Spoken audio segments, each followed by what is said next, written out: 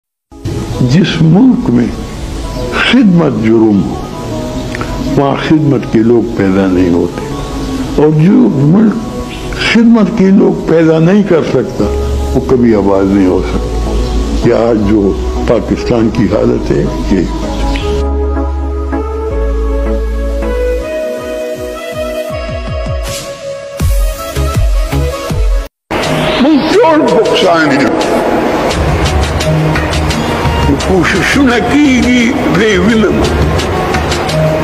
چې په من کې اختلاف پیدا شي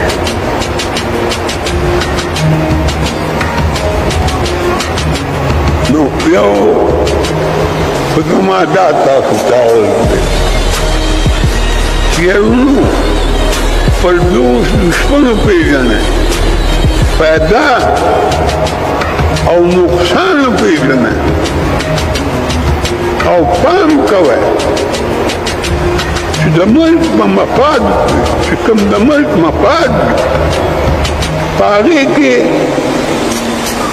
لمن نرسو یا په مونږ کې پیدا نه کړي